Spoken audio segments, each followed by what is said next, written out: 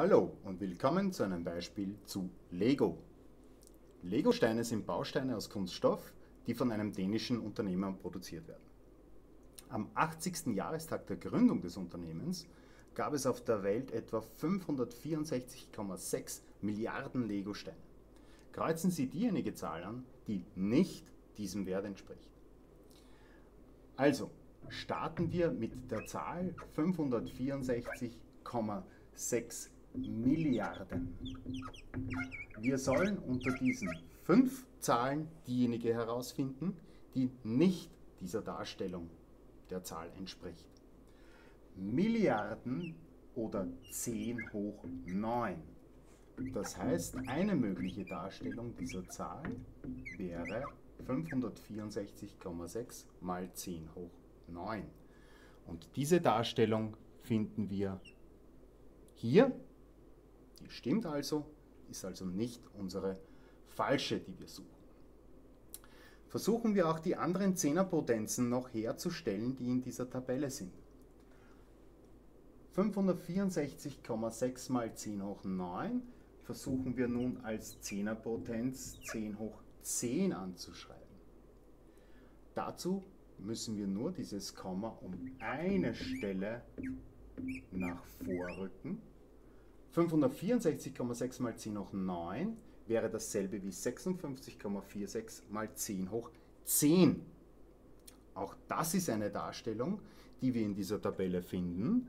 Ähm, auch diese Darstellung ist korrekt ähm, und somit nicht unsere gesuchte. Die nächste äh, Zehnerpotenz, die nächste höhere Zehnerpotenz, die wir versuchen zu erzeugen, 10 hoch 12. Dazu müssen wir das Komma um weitere zwei Stellen nach vorrücken und wir gelangen zur Darstellung 0,5646 mal 10 hoch 12. Auch das ist immer noch dieselbe Zahl und auch das ist eine der Darstellungen, die wir hier in dieser Tabelle haben.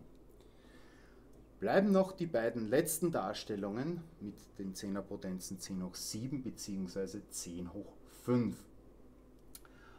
Wollen wir kleinere Zehnerpotenzen erzeugen, so rücken wir das Komma dementsprechend nach rechts. Also Ausgangspunkt 564,6 mal 10 hoch 9. Ich möchte das in die Darstellung einer Zehnerpotenz 10 hoch 7 überführen und verschiebe das Komma um zwei Stellen, wobei nur eine Stelle möglich ist und dann kommt noch ein Nuller dazu. 56.460 mal 10 hoch 7. Auch das ist eine Darstellung, die wir in dieser Tabelle finden. Also auch die ist richtig. Unsere falsche muss wohl also die letzte sein. Wobei überprüfen wir das noch. Verwandeln wir jetzt diese Darstellung mit der 10er Potenz 10 hoch 7 in eine Darstellung mit der 10er Potenz 10 hoch 5. So müssen wir zwei weitere Nuller anhängen, um die 10er Potenz 10 hoch 5 zu erzeugen.